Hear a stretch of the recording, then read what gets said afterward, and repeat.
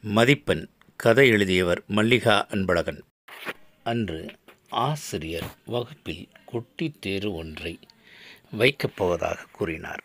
இரண்டு கேள்விகளை கேட்டு விரிவாக பதில் எழுதும்படி சொன்னார்.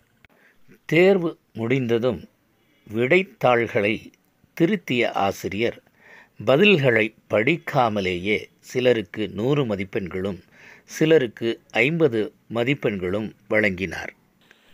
திடுக்கிட்ட மாணவர்கள் எப்படி சார்? பதில்களை படிக்காமலே மார்க் போடலாம்? என்று கேட்டனர். அதற்கு ஆசிரியர் சொன்னார் கடினமான கேள்வி ஒன்றும் இலகுவான கேள்வி ஒன்றும் கேட்டேன். கடினமான கேள்வியை சிலரும் இலகுவான கேள்வியை சிலரும் தேர்ந்தெடுத்து பதில் எழுதியிருக்கீங்க. கடினமான ஒன்றை வாழ்வில் எதிர்கொள்ளும் தைரியம் இருக்கிறதே அதற்குத்தான் நூறு மதிப்பெண்கள்.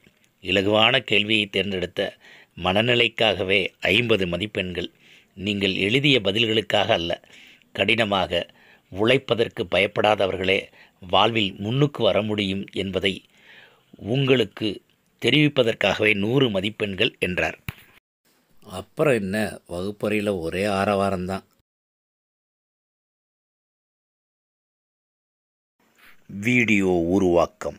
கா. சரவணன் தலைமை ஆசிரியர். Doctor T. திணிஞானம் துவக்கப்பள்ளி மதுரை ஒன்பது.